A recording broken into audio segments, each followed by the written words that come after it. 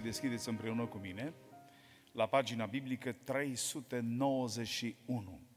391. A doua carte a împăraților, capitolul 4. Vom citi de la versetul 1. Ce ce aveți Sfintele Scripturi? Deschideți-le împreună cu mine. Pagina biblică 391, capitolul 4, de la versetul 1. A doua carte a împăraților.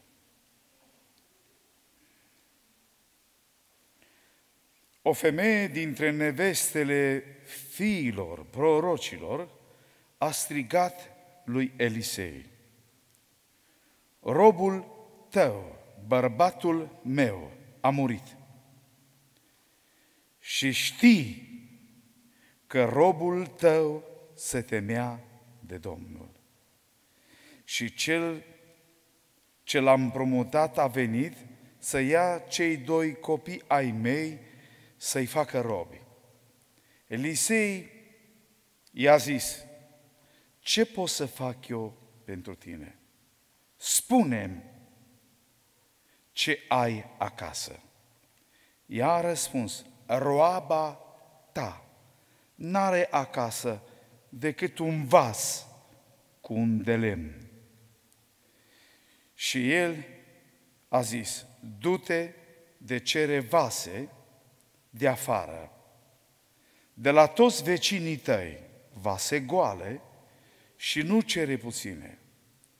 Când te vei întoarce, închide ușa după tine și după copiii tăi. Toarnă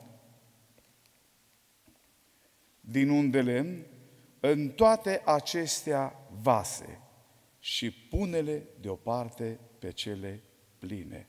Atunci ea a plecat de la el. A închis ușa după ea și după copiii ei. Ei apropiau vasele, iar iar turna undele în ele. Când s-au umplut vasele, ea a zis fiului său, mai dăm un vas. Dar el i-a răspuns, nu mai este niciun vas. Și n-a mai curs niciun de lemn. Ea s-a dus, i-a spus omului lui Dumnezeu lucrul acesta. Și el a zis, du-te de vinde unde lemnul și plătește datoria, iar cu ce vei rămâne, vei trăi tu și fiii tăi. Amin. Până aici cuvântul Domnului. Vă rog să vă reașezați.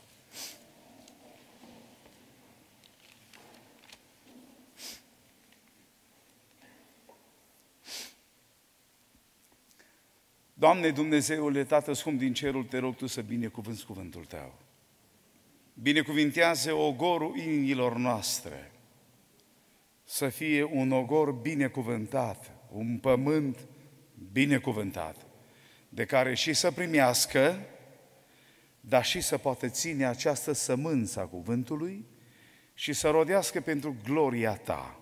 Amin?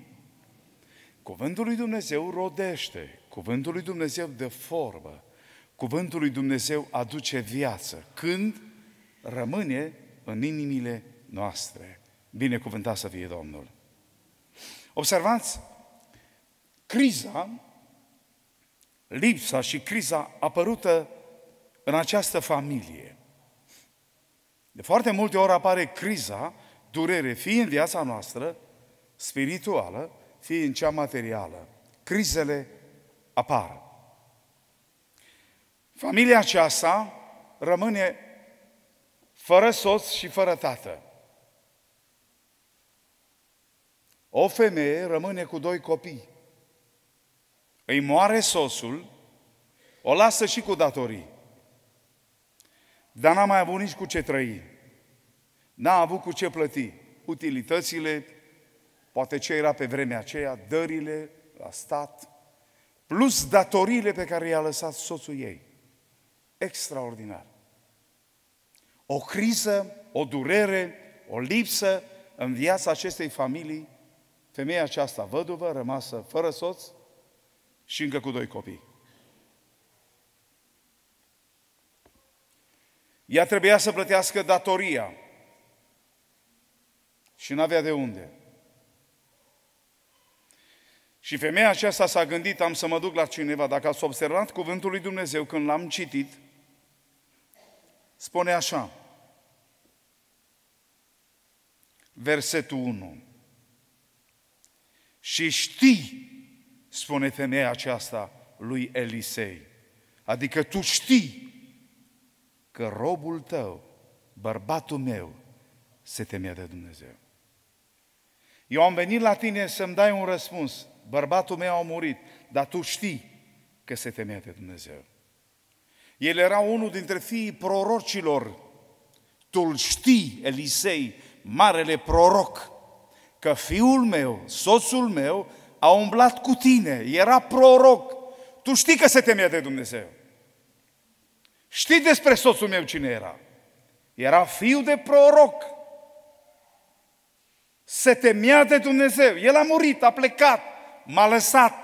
M-a lăsat în criză, m-a lăsat cu doi fii, m-a lăsat cu datorii, m-a lăsat cu probleme. Ce să fac? Contează foarte mult în perioada de criză, de datorii, la cine cerem noi sfaturi, pe cine întrebăm, cine te consiliază, cine e consilierul tău. Femeia aceasta s-a dus la omul lui Dumnezeu și a spus, știi despre el cine e? Știi că soțul meu era proroc? Știi că soțul meu se temea de Dumnezeu? El a plecat, mi-a lăsat probleme acasă. Uite ce e cu mine. Tu știi foarte bine cine era. Contează foarte bine pe cine întreb. Foarte mulți oameni au întrebat și au luat sfaturi de la oameni lipsiți de experiență și au ajuns unde au ajuns. Dacă Roboam, fiul lui Solomon, a întrebat bătrânii, oameni cu experiență, nu le-a luat sfatul, a întrebat tineri lipsiți de experiență și de viață și le-a luat sfaturi și împărăția lui era scurtă, s-a rupt, pentru că n-a luat sfatul de la cine trebuia. Contează la cine te duci. Contează în vreme de criză, de durere, de lipsă, în vreme de datorii, la cine te duci să te sfătuiești. Cine îți dă sfaturi? Cu cine te consulți dumneata? Femeia aceasta, în vreme de criză, a ales un om al lui Dumnezeu, care îi cunoștea familia, care îi cunoștea soțul, care cunoștea că în viața lor e teamă de Dumnezeu. Știi că soțul meu se temea? Și aici parafrazez spunând Elisei, știu, știu că soțul meu era proroc, știu și asta. El a plecat, m-a lăsat cu doi copii, m-a lăsat cu datorii, m-a lăsat cu probleme nerezolvate. Eu am venit la tine, spunem ce să fac. Contează foarte mult în vreme de criză la cine mergem să cerem sfat și consiliere. La cine? Doamne Dumnezeule, ai milă și binecuvintează-ne pe toți. Și toată biserica să spunem? Contează pe cine întrebăm. Contează sfatul cul luăm. Observați dumneavoastră, într-o împrejurare, ucenicii, fiind pe scara, asta era meseria lor, au intrat în criză. Dacă ăștia nu prindeau într-o noapte ceva, suferea familia. Și vine Domnul și stă de vorbă cu el la pescuirea minunată. Și a prins ceva, dați-mi să mănânc. Nu, n-am prins nimic. Toată noaptea n-am trudit. Nimic. Contează cine îți dă sfaturi. Și Domnul le spune așa, aruncați mreaja în partea dreaptă a corăbiei. Dar, Doamne, iartă-mă, dar toată noaptea am aruncat-o și în dreapta și în stânga. Acum o arunc din nou. Dar contează foarte mult să o arunci după cuvântul lui Dumnezeu. Să lucrăm după cuvântul lui Dumnezeu.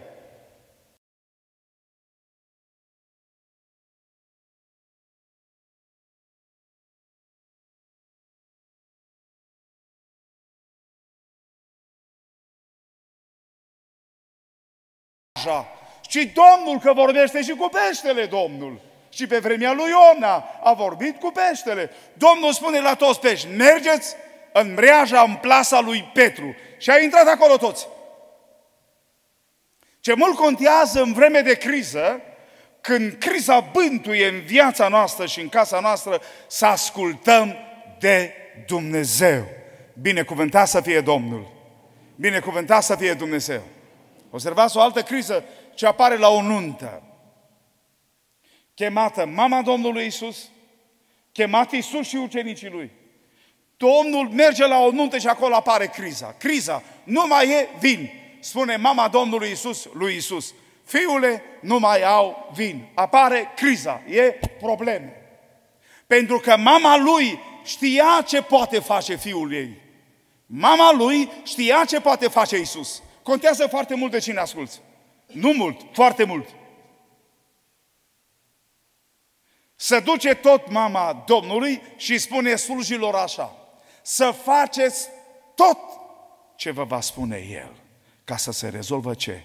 Criza, problema din viața noastră.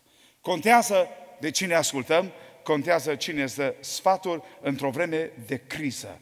Doamne, ai milă de noi! Doamne, ai milă de noi!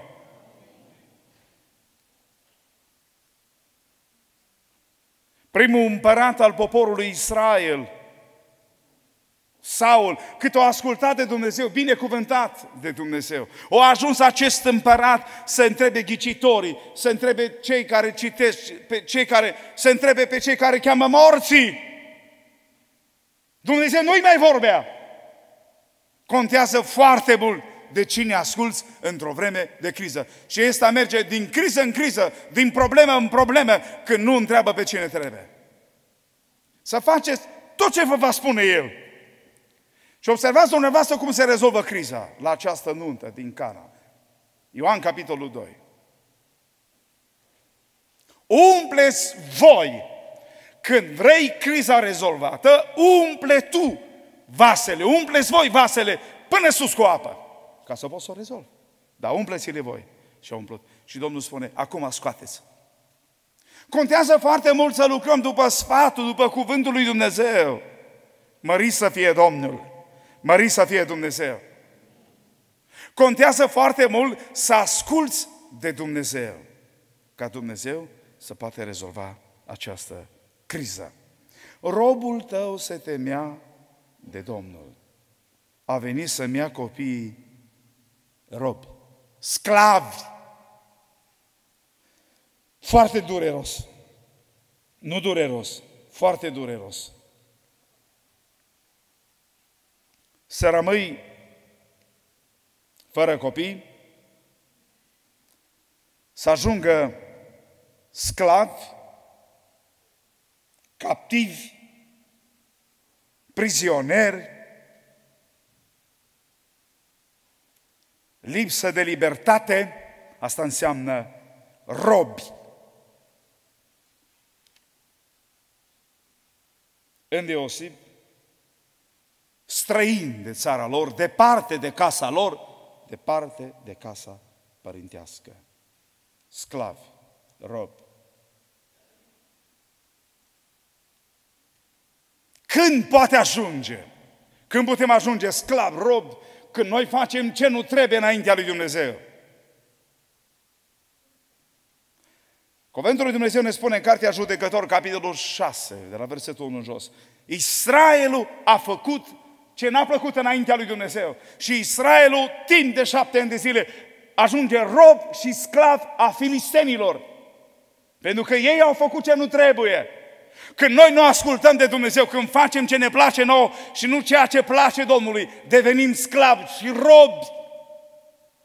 Privat de libertate, n-ai timp de nimic, n-ai timp de sufletul tău, n-ai timp de scriptură, n-ai timp de biserică, n-ai timp pentru tine. Așa de mult alergăm pentru alții, pentru tine n-ai timp deloc să trăiești în prezența lui Dumnezeu. Asta înseamnă privat de libertate. N-ai timp pentru tine, e sclav. Tu devii sclavul tău, tu devii robul tău, tu te chinui singur. Nu vă înjungați la un jug nepotrivit cu lumea, tu devii rob, tu te-ai angajat să fii rob. sclav. Copiii mei au venit să plătesc. N-am de unde plăti. De unde să dau?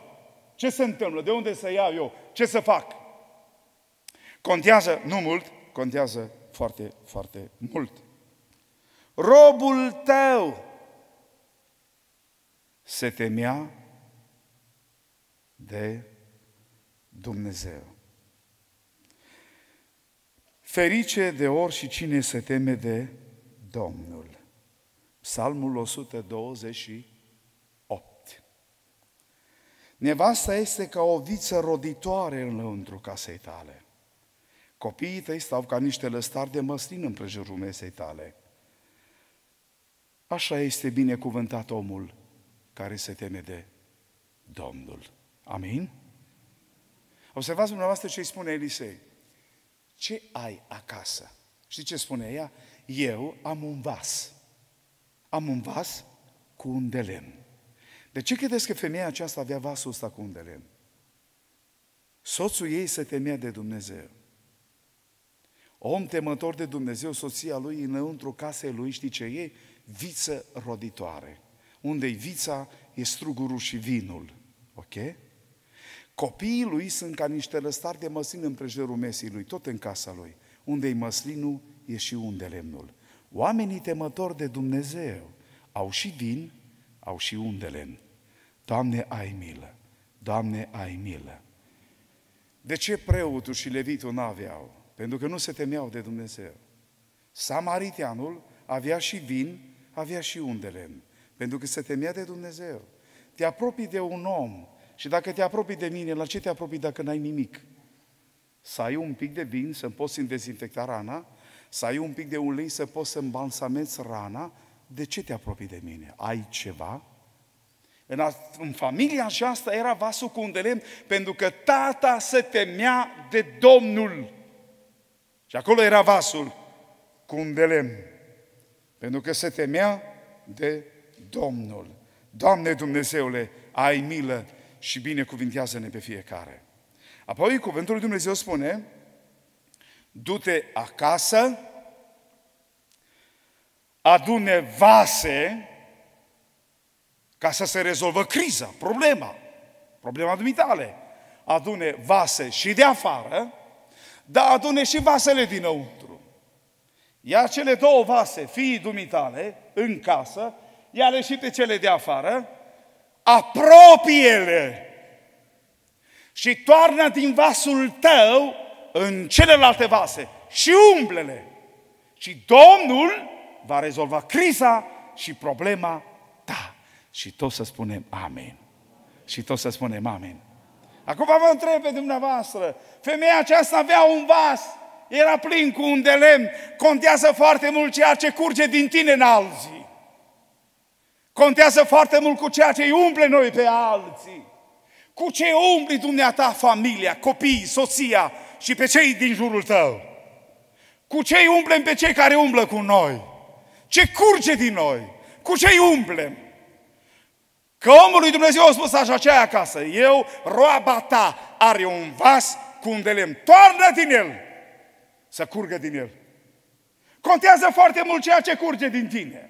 Nu poate, spune Sfântul Apostol Pavel, să curgă din același izvor și apă dulce și amară. Contează ce curge din tine. Ori amărăciune, ori dulceață. Cu ce îi umplem pe oameni? Cu ceea ce curge din tine.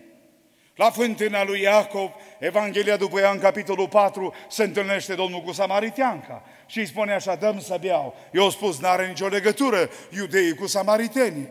Dacă ai fi cunoscut pe cel ce spune dăm să beau, el ți-ar fi dat o altă apă. Wow! Care se va preface în tine într-un izvor de apă, izvor, și va și până în viață veșnică. Ce? Izvor dătător de viață. Când tu îl cunoști pe Dumnezeu, El va pune în tine izvor dătător de viață și va țâșni ca o ciușmea ca un izvor, să curgă și în alții.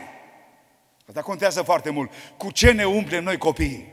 Cu ce ne umplem noi prietenii? Cu ce umplem noi pe cei care umblă în jurul nostru? Cu ce umplem noi vecinii? Adunele și umplele cu ceea ce ai tu.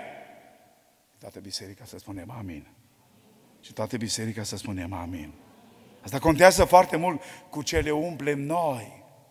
Domnul la nunta din Cana spune așa, umpleți-le voi. Dar cu ce? Cu ce aveți? Apă. Apă punem, ca să facă Domnul minuni. Binecuvântat să fie Domnul. Ce ai tu? Un de lemn. Un de lemn pun acolo. Contează foarte mult cu ceea ce punem noi în vasele altora. Să le adunăm și să le apropiem, contează foarte mult. Le adunăm, dar nu le lăsăm împrăștiate, le apropiem și atunci să spunem, Doamne, din mine să curgă în ei.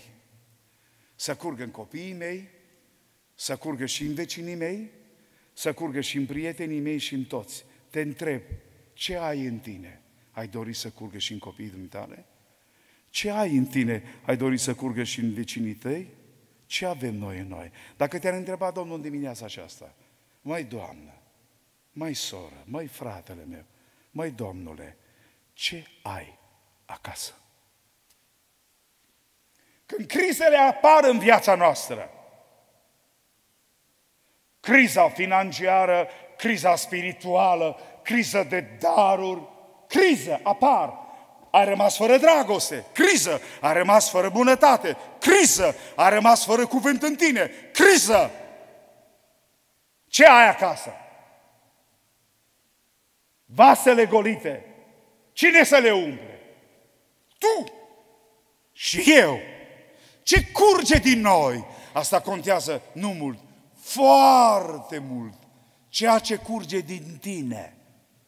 Doamne, ai milă și binecuvintează-ne pe toți. Israelul călătoresc. Cum trece Marea Roșie, dau de Mara. Apele erau amare. Cârtesc. Omul lui Dumnezeu Moise ia un lemn și l-a aruncat în apă. Și apa a devenit dulce. Și au început oamenii să se adape. Și să bea și să bea. Știți de ce? Că apa a devenit dulce. Când Hristos cu lemnul lui, cu crucea lui va locui în tine, viața dumitale și viața mea va deveni o dulceață și să poate adăpa și alții. Toată biserica să spunem amin. Toată biserica să spunem amin. Contează foarte mult ceea ce curge din noi. Ce ai acasă. Contează foarte mult. Du-te, adună copiii, închide ușa după tine. Asta înseamnă siguranță. Rămâi tu, copiii tăi și Dumnezeul tău. Apropie vasele una de cealaltă, asta înseamnă unitate. I s-a dat numele de creștin în, în Antiohia, cei 120 de frați împreună, erau împreună, erau în același loc și au venit un de lemnul Duhului Sfânt al lui Dumnezeu peste toți. Când ei împreună, când va fi unitate în Hristos, Dumnezeu va turna din belșug din unde lemnul său și tot să spunem amin. Asta contează nu puțin, foarte mult. Ce faci tu când apare criza? Ce facem noi când apar problemele în viața noastră? Contează pe cine întreb. Contează sfatul cu ei. Da, asta contează nu mult, foarte mult. Ahab a ajuns unde a ajuns că și-a întrebat soția. Da. Adam a ajuns unde a ajuns că a luat sfatul de la soție. Nu că soțiile nu-s bune, ba da. Dar fiecare bărbat, începând de la mine toți, trebuie să avem un sfătuitor, Dumnezeu, ca preoți al lui Dumnezeu. Să mai privim în Scriptură câți oameni au întrebat de oameni răi ce să facă. Niciodată el nu vrea să vadă bine. Contează să întreb un om care îți cunoaște familia, care îți cunoaște durerea. Și ce spune femeia aceasta? Tu știi. Nu întreba un om ce nu știe. Să nu întreb niciodată un om ce nu știe problema ta, criza ta, durerea ta, boala ta. Nu, ăla nu știe niciodată. Nu. Și ce spune femeia? Tu știi. Tu știi foarte bine. Nu întrebați oameni care nu știu. Nu știe rana, durerea, problema cu ce te confrunți. Dacă omul nu știe, nu știe. Întreabă unul care știe. Nu te du la un alt medic. Acum e mai nou, e să ai medicul de familie. Medicul de familie știe exact cine ești. Poți să fie cel mai mare medic, el nu știe nimic. Medicul tău de familie știe situația, problema, boala, știe tratamentul pe care trebuie să ți-l dea. Eu cred că Elisei știa ce fel de tratament. Știa. Știa că ceva acasă are. Cunosc soțul tău că era proroc. Îl cunosc foarte bine. Îl știu. Îl cunoști.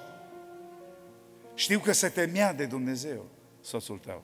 Și știu că ceva acasă ai. Oamenii temători de Dumnezeu. Proroc înseamnă om care în gura lui și inima lui totdeauna e cuvântul Domnului și îl rostește. Am auzit un reportaj, mi-a plăcut foarte mult. Evreii, când descărteau, deschideau sulurile de cărți, fie a lui Saia, fie... Și dacă aveau buzele necurate, dacă bârfeau, dacă judecau, dacă glumeau prost, dacă făceau mișto de alta, mai știu eu ce, le era frică să rostească numele Dumnezeu. Jehova, sau mai știu eu cum. Le era frică când ceteau paragraful respectiv, săreau, nu mai spuneau cuvântul Domnului, le era frică. Și Biblia spune, oricine rostește numele Domnului să se depărteze de fără de lege. Îl știa că e proroc, că e temător de Dumnezeu. Știu ce ai acasă. Contează foarte mult. Apropie vasele. Și acum știi ce? Vrei minune? Da. Vreau să văd ce curge din tine. Noi vrem minuni. Și noi nu mai curge nimic am devenit ca niște fântâni uscate, fără apă. Izvoare de care nu mai pică o picătură de apă. Domnul spune, vrei minuni? Nu se poate cu vase goale. Le-ați umplut, da, pe cele pline, pune-se-le deoparte. Totdeauna Dumnezeu ceea ce e plin, pune deoparte pentru gloria Lui, pentru slava Lui.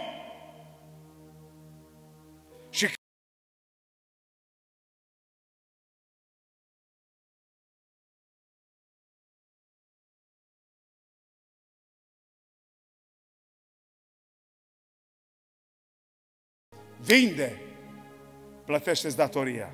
Ce rămâne? Să trăiești tu și fiii tăi. Ca să trăiești pentru gloria Domnului, să trăiești pentru Hristos, trebuie să fii plin și tu și toată familia ta. Fie de frică, plin de frică, cum a venit îngerul Domnului. Cornelu era plin de frică, el și toată casa lui. Era plină viața. Ăsta era motivul de care Duhul Sfânt a venit și a umplut și pe el și toată casa lui. Pentru că el și toată casa lui erau plini de frica lui Dumnezeu. Plini de Duhul Sfânt. Vasele pline văd gloria lui Dumnezeu. Îl văd pe Dumnezeu. Ștefan plin de Duhul Sfânt și a aruncat privirea. N-a văzut tavan, n-a văzut un cer, l-a văzut pe Iisus stând la dreapta puterii lui Dumnezeu. Și toată biserica să spunem? Toată biserica să spunem? De ce oamenii duc lipsă? De ce intrăm în criză? Poporul meu piere. Observați ce fel de lipsă, ce fel de criză, de cunoștință. Poporul meu piere că nu are cunoștință, lipsă, criză de cunoștință. Nu-L cunoaște pe Dumnezeu. Nu cunoaște căile mele, nu cunoaște voia mea, nu cunoaște planul meu. Care-i planul? Care-i voia? Care-i calea? Care-i planul pe care Dumnezeu ți l-a dat? Ce cunoști despre Dumnezeu? Ce știi tu despre El? Ce? Lipsa asta, criza asta, de cunoaștere mulți nu cunosc. Să nu cunoști calea Lui, să nu cunoști voia Lui, să nu cunoști planul lui Dumnezeu, să n-ai niciun pic de cunoștință despre El, să nu cunoști nimic despre El, să ai 10 ani, 15 ani de pocăință, să n-ai 5-10 versete 15, să le cunoști pe de rost, să nu știi nimic, să ai o carte în mână, să ai o carte a cărților, de care e cea mai multă carte pe întreg pământ, citită, ci tu să nu citești. Poporul lipsă, criză și pâinea e în mâna ta și pâinea e în mâna ta. Doamne Dumnezeule, ai milă și binecuvintează-ne pe toți. Nu știu cum putem numi categoria asta de oameni, cu pâinea în mână și să mor de foame. Cu Biblia în mână, adevărata pâine pe care ne-a dat-o Tata să trăim, e asta. Și tu cu ea în mână cărtești. Și cu, tu cu ea în mână mor de foame. Și tu cu ea în mână n-ai viață. Pâinea asta care s-a coborât din cer Spune Iisus despre trupul său, despre cuvântul său. Dă lumii ce? Viață. Să n-ai viață în tine. Apoi, cuvântul lui Dumnezeu spune mai departe așa.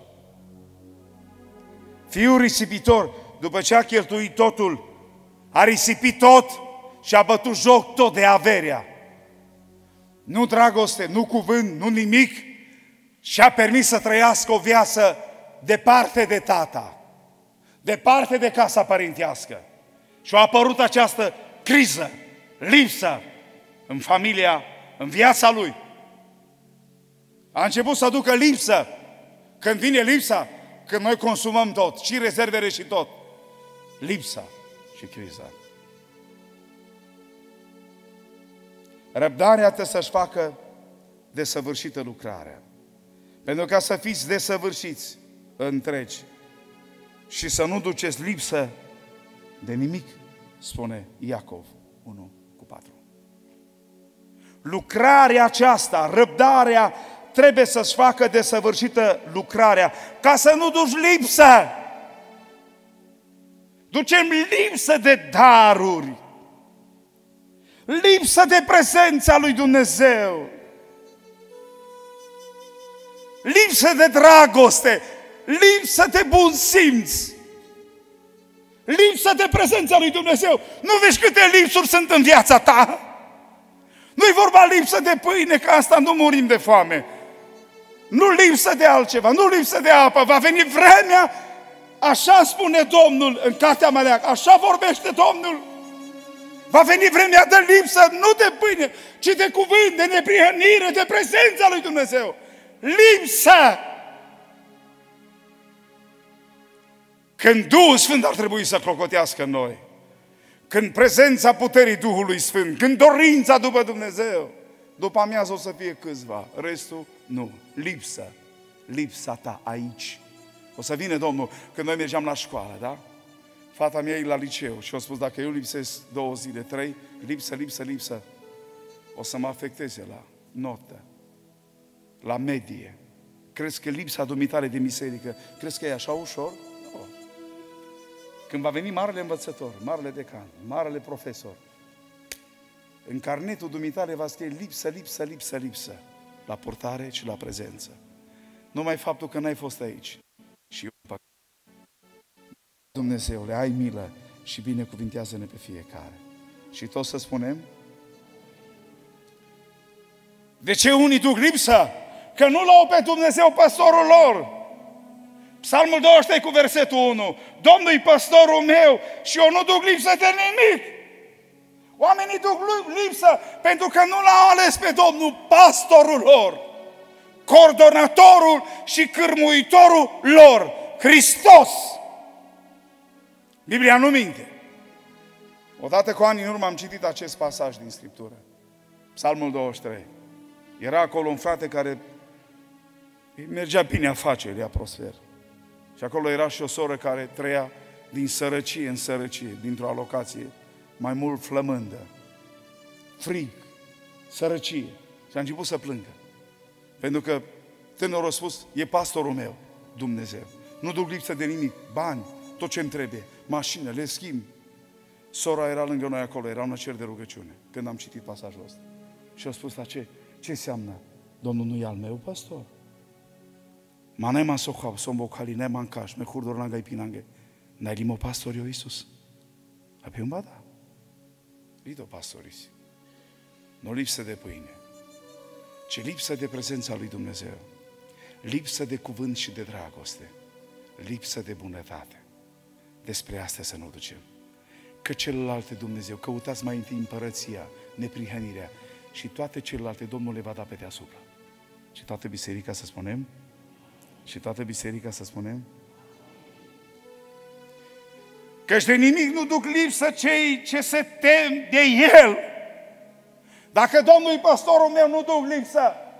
Dacă eu mă tem de El, eu nu duc lipsă. Teama asta de Dumnezeu și aduce atâtea binecuvântări în viața și în sufletul nostru. Cei ce îl caută pe Domnul nu duc lipsă de niciun bine. A fi pastorul meu, a mă teme de el și a-L căuta pe Dumnezeu. Nu duc lipsă de niciun bine. De ce nu mai e binele în tine, bunătatea? Pentru că tu nu-L mai cauți pe Domnul. Nu duc lipsă de niciun bine. Binele e în viața mea. Binele trebuie să fie în tine, în mine și noi toți și toată biserica să spunem. De multe ori ducem misă că nu dăm săracului.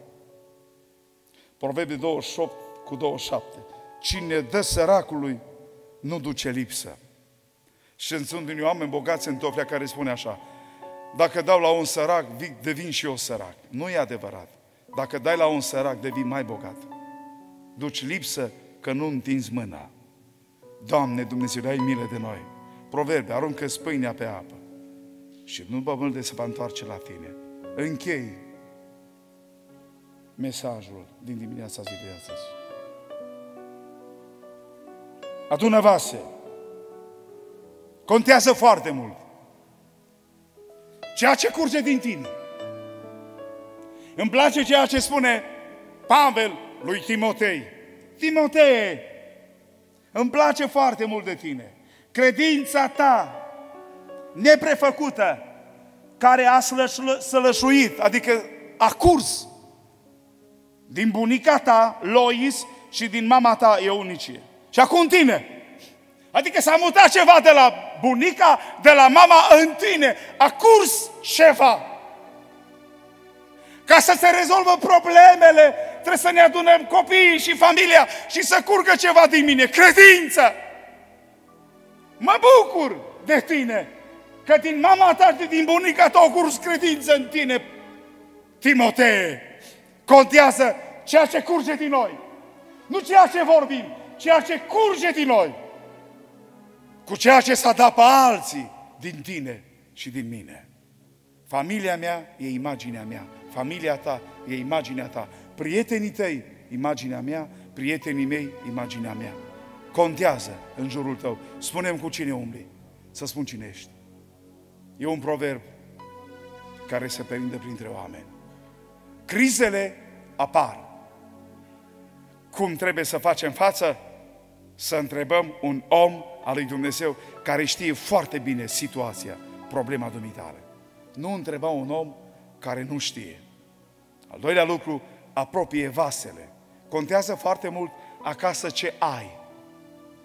Și dacă ai un vas cu un de lemn, e vasul dumitale, toarnă din el în vasele celelalte. În viața copiilor noștri, în viața vecinilor, în viața prietenilor și în viața celor care umblă cu noi. Crizele apar, fie financiare, fie cele spirituale. Lipsiți de prezența lui Dumnezeu. Doamne, te rog Tu să ne umpli de prezența voii Tale.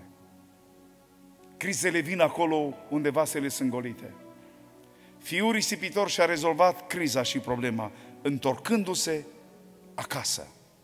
Problema acestei femei, care a rămas fără soț, cu doi copii, sărăcie, datorie, multe pe capul ei, s-a rezolvat întrebând omului Dumnezeu, s-a rezolvat pentru că acasă avea ceva și s-a rezolvat că a îndrumat mesajul, cuvântul lui Dumnezeu în tocmai. Problema crizei de la nuntă din Cana s-a rezolvat în momentul când noi facem ceea ce ne spune Dumnezeu. Crizele apar, devenim robi ai stricăciunii și nu a lui Dumnezeu. Când noi facem ce nu spune Dumnezeu să facem. Că noi intrăm în neascultare. Problema noastră depinde de noi. Vrei să intri din criză? Ne apropiem de Dumnezeu. Vrei să ieși din criză? Roagă-te Domnului în inima ta și în inima mea să fie teama asta de Dumnezeu și să curgă din noi și în alții. Să ne rugăm în dimineața aceasta să spunem, Doamne, pune Tu izvorul Duhului Sfânt în inima noastră, să se poate adăpa și alții. Fă, Doamne, din mine să se munte, să curgă credința asta în copii, în fete și în băieți și în vecinii noștri. Și umple Tu, Doamne, toate vasele golite și rezolvă Tu criza, datoria și problemele din viața noastră. Amin. Vă invit respectuos cu toți. Să ne ridicăm de picioare.